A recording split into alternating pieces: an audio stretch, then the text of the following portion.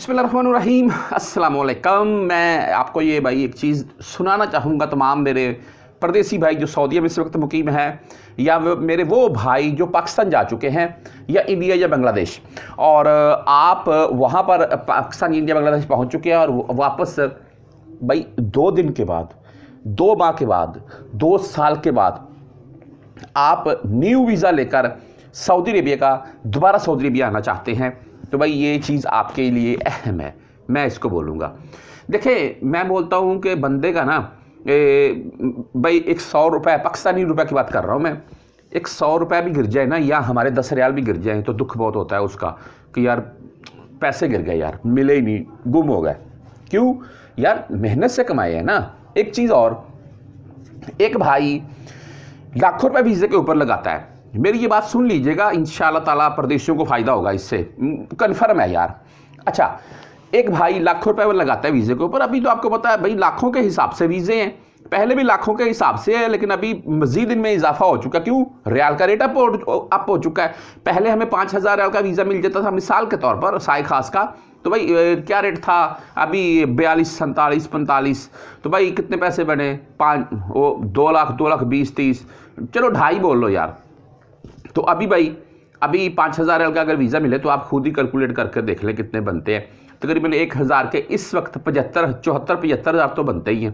तो भाई लाखों के हिसाब से वीज़े एक बंदा लाखों रुपए लगाता है वीज़े के ऊपर और अपना मेडिकल कर, करवा ये करवा पाकिस्तान में एक डेढ़ लाख खर्चा करता है। उसके बाद टिकट लेता है सऊदीया में आता है।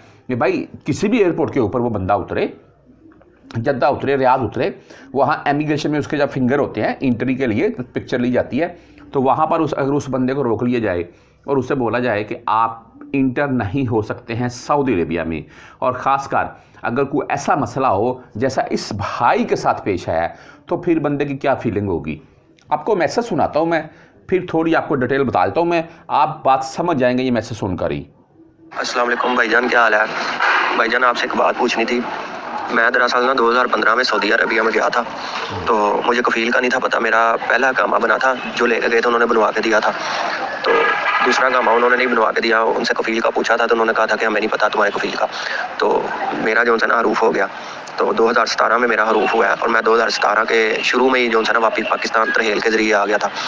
तो अब 2023 में तीन चार दिन पहले मैं ना उम्र करने गया हूँ अपनी वालदा के साथ।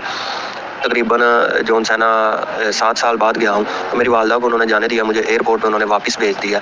हालाँकि हरूफ तो सुना था कि पाँच साल का होता है तो लिहाजा ये क्या मसला पेश आया, मुझे कुछ समझ नहीं आ रहा। जी, सुन लिया है जी 2015 में गया है, पहला ही कामा बना 2016 में जो इनका नेक्स्ट इकामा बनना था, वो नहीं बना, कफील मिला ही नहीं, या किसी ने इनके साथ धोखा कर लिया, या ये पैसे इकट्ठे नहीं कर सके, सौ मामला तो होते हैं। तो कफील ने हरूब दे दिया। ठीक है, हरूब की सूरत में एक साल काम किया, उसके बाद पकड़े गए और पाकिस्तान डीपोर्ट हो गए। अभी सात साल के बाद, तकरीबन सात साल के बाद, सुन लें, मेरी बात सुन लें। सात साल के बाद अपनी वालदा के साथ उम्र पर जा रहे हैं। वालदा को इंटर होने दिया, इनको रोक लिया।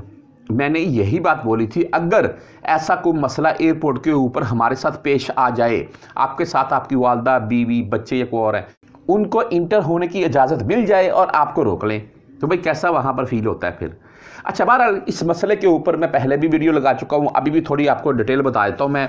ऐसे तमाम भाई जो कोरोना पाबंदियों में पाकिस्तान रह गए, जो डीपोर्ट होकर गए, जो आउटपास बना कर गए, जो इकामा एक्सपायर था अपना खरूज लगवा कर गए, जो सहारा से, एम्बेसी से खरूज लगवा कर गए, जो शुरते ने पकड़ा पकड़ा और बाद में डिपोर्ट किया, किसी भी केस के सिलसिले में गए भाई, ऐसे तमाम दोस्त अहबाब जो सऊदी अरेबिया से आउट हो जाते हैं, सऊदी अरेबिया से चले जाते हैं तो भाई, जब वो न्यू वीज़ा लेना चाहते हैं सऊदीया का, उस टाइम उनको चाहिए कि लाजम वीज़ा लेने से पहले अपना मतार पेपर लाजम चेक कराएँ। व्हाट्सअप नंबर आपको पहले भी दिखा चुका हूँ मैं, अभी भी दिखा रहा हूँ मैं। अपना मतार पेपर मरहल पेपर बोलते हैं, वो लाजम चेक करवाएँ। अगर वो पेपर क्लियर है आपका, बाकायदा जवाजात का प्रिंट शुदा होता है ये भी आपको क्लियर कर दूँ, आपने जिस किसी भाई से भी पेपर निकलवाना है जवाजात का प्रिंट शुदा बकायदा निकलवाना है। अगर वो पेपर आपका क्लियर है तो भाई फिर उससे, जिस बंदे से भी निकलवाएँ, उससे साथ में तसल्ली कीजिएगा। आप चाहे हमसे निकलवा लें, चाहे किसी और से निकलवाना, आपकी मर्ज़ी है। उससे भी तसल्ली कीजिएगा, भाई मैं जा सकता हूँ कन्फर्म है। ठीक है, फिर वीज़ा लेकर सफ़र कीजिएगा, ऐसे सफ़र भाई मत कीजिएगा, वरना लाखों का नुकसान है, ये भाई साहब को एयरपोर्ट के ऊपर ही रोक लिया है। तो तमाम परदेसी भाई, थोड़ी एहतियात करें यार, चंद हज़ार लगा लें, अपना स्टेटस चेक करवा लें, उसके बाद सफ़र करें।